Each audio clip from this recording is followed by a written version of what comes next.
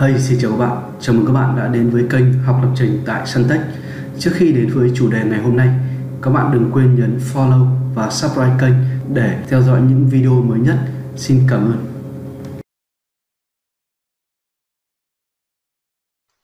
Anh sẽ nói về cái rule của cái mô hình MVC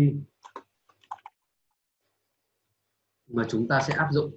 Tức là chúng ta sẽ có rule cho cái project MVC thì chúng ta sẽ áp dụng nó như thế này.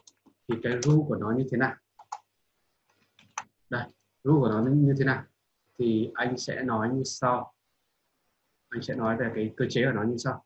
Thì tức là cái rule rule ở đây có nghĩa là cái quy tắc đặt tên. Quy tắc đặt tên, các bạn nhé. Cái quy tắc đặt tên. Thì đặt tên đối với controller. Chúng ta quy ước với nhau bởi vì sau này các bạn làm việc với các framework khác cũng như vậy nó đều có những cái quy tắc đặt tên các bạn phải đặt đúng. Đó. Thì đó là cái tiêu chuẩn khi mà à, chúng ta làm quen với MC anh cũng đã nói đến rồi. Nó là cái tiêu chuẩn về gọi là cái cái chuẩn hóa cốt ví dụ như cái cú pháp đặt tên nó cũng sẽ phải theo chuẩn. Được chưa? Thì chúng ta xây dựng cái mô hình MVC cái project MVC này từ đầu nên là chúng ta, những quy chuẩn đó do chúng ta quy định với nhau. Thì cái controller chúng ta sẽ đặt là name và luôn luôn có một cái param là controller cuối cùng như thế này. Chấm. Đó. Tức là tên class. Tên của class và tên file nhé. Tên file luôn luôn phải giống nhau. Luôn phải giống nhau. Được chưa các bạn? Đó ok, và tên class tên class luôn luôn có controller ở cuối cùng. Luôn có controller anh để trong nháy nháy như thế này, ở cuối cùng. Tức là đây là do chúng ta quy định thôi, chứ không phải là lý do gì cả. Đó, anh lấy ví dụ, anh lấy một cái ví dụ để các bạn hiểu. Ví dụ anh để là product controller đó. Được chưa các bạn? Anh để như vậy. Hay, anh lấy ví dụ là user controller thì chúng ta sẽ viết như thế này. User controller, chúng ta sẽ để là số ít nhé. Controller. Thì đây là tên class. Đây là class name. Thì cái file name của nó nó sẽ phải là product controller php đó, tương tự ở dưới này. Thì đây nó gọi là file name. Ok chưa các bạn? Ok chưa?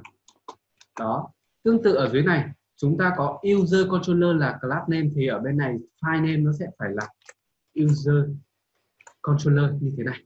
Đó, thì đây là cái tiêu chuẩn đầu tiên. Cái tiêu chuẩn đầu tiên. Ở buổi sau anh sẽ đưa cái khái niệm namespace vào tại vì anh chưa muốn nói ngay, nó sẽ dối đây là cái khái niệm namespace thì lúc đó là chúng ta sẽ add thêm cái tiêu chuẩn nữa của namespace tức là cái khái niệm namespace namespace trong PP thì anh sẽ để buổi sau.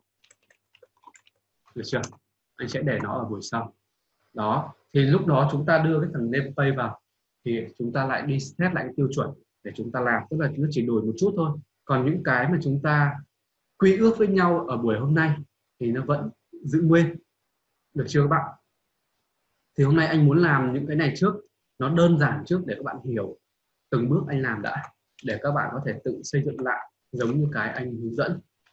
Cái thứ hai, cái quy tắc đặt tên, cái rule cho thằng model thì nó cũng giống như controller.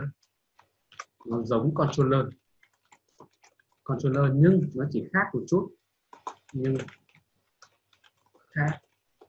Ở cái tên cố định. Tên cố định. Và luôn luôn có mô đồ ở cuối cùng như thế này. Ok chưa? Anh lấy ví dụ. Anh lấy ví dụ nhé anh có user model thì anh sẽ viết như thế này. Đó, user model là class name. Được chưa? Thì user model php php nó sẽ là gì?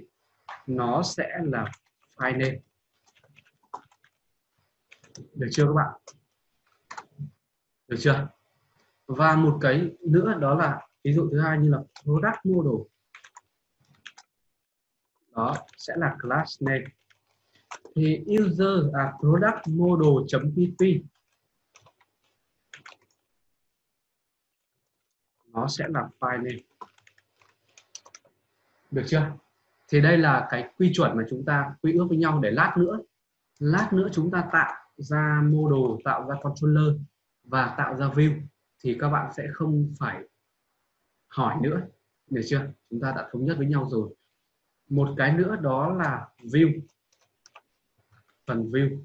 Phần view thì nó sẽ không bắt buộc nhưng mà chúng ta vẫn có một cái quy tắc. Quy tắc này là không bắt buộc nhé view thì không bắt buộc. Nhưng mà nên. Nhưng nên. Đó là gì? Đó là tên của file view. Tên của file view.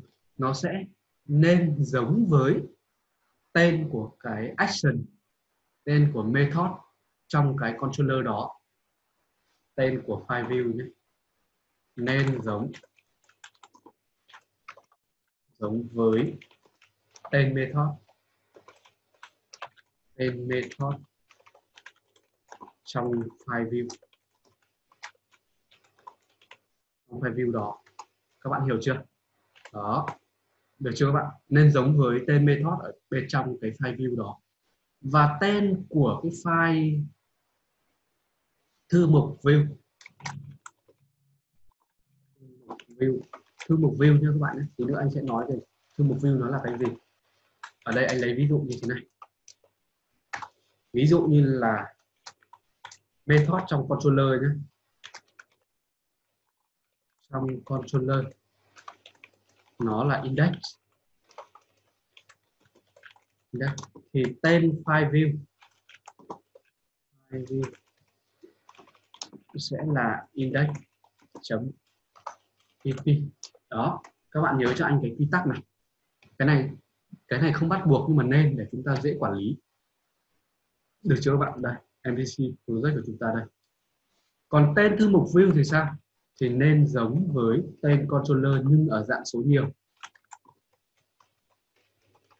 Nên giống với controller nhé.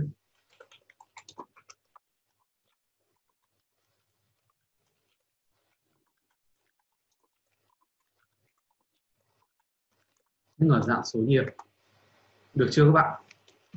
Được chưa? Được chưa? Đó.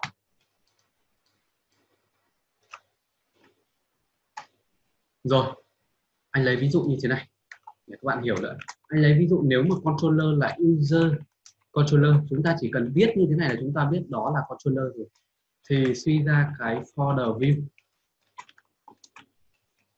sẽ là sẽ là gì? Sẽ là user số như thế này. Tức là nó ở dạng chữ thường và nó có thêm s, dạng số nhiều. Các bạn nhớ cho anh nhé, số dạng số nhiều nhé. Rồi, ok.